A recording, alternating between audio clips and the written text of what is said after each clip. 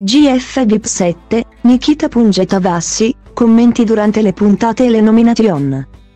Sabato 1 aprile, i concorrenti del Grande Fratello VIP 7 si sono ritrovati ad effettuare uno degli ultimi giochi proposti dagli autori. Nikita Pelizzondo può aver pescato il nominativo di Tavassi ne ha approfittato per criticarlo.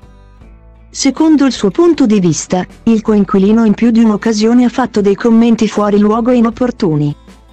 Tra Nikita e Tavassi non è mai corso un buon sangue. In occasione di uno degli ultimi giochi proposti dagli autori. La modella triestina ha deciso di punzecchiare il coinquilino dicendo tutto ciò che pensa di lui, ho provato più volte a parlarti. Avrei preferito non facessi commenti inopportuni durante le puntate o le nomination. Secondo il suo punto di vista, il 38enne in varie occasioni avrebbe dimostrato poca sensibilità rispetto a vari argomenti trattati all'interno delle reality show. Nel dettaglio, Nikita ha ritenuto fuori luogo alcuni interventi di Tavassi. Archiviato il pensiero di Nikita su Tavassi, il gioco è proseguito. Nicole in curvaia nel bigliettino ha pescato il nominativo di Oriana Marzoli e ha detto, sei stata una compagna di viaggio stupenda.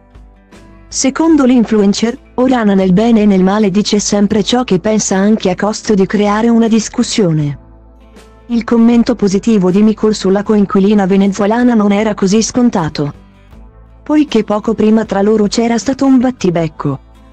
Il gioco è proseguito con Marzoli che ha pescato il nominativo di Nikita e ha affermato, ci sono delle cose che non sono giuste.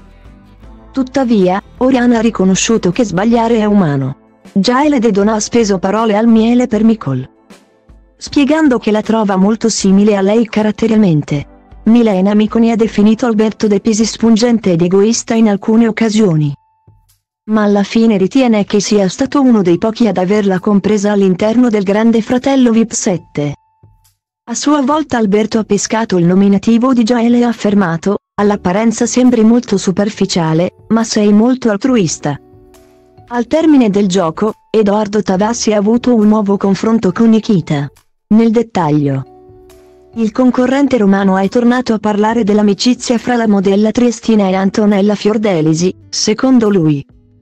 Le due più che amiche avrebbero deciso di allearsi per strategia. Tavassi è convinto che Antonella all'interno della casa di Cinecittà ha solo creato rapporti ai fini del gioco. Dal canto suo, però, Nikita ha risposto che non ha senso il ragionamento visto che poche ore prima Fiordelisi e il suo ex le hanno inviato una dedica aerea.